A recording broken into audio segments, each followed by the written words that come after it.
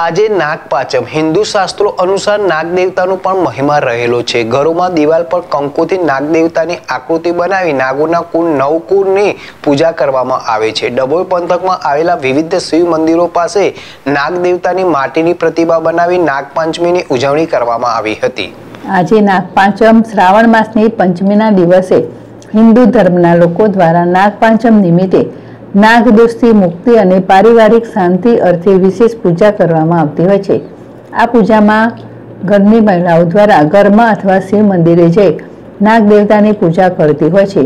ત્યારે ડભોઈ પંથકમાં પણ આજે નાગપંચમી નિમિત્તે શિવ મંદિરોએ જઈ વિશેષ પૂજા કરવામાં આવી હતી.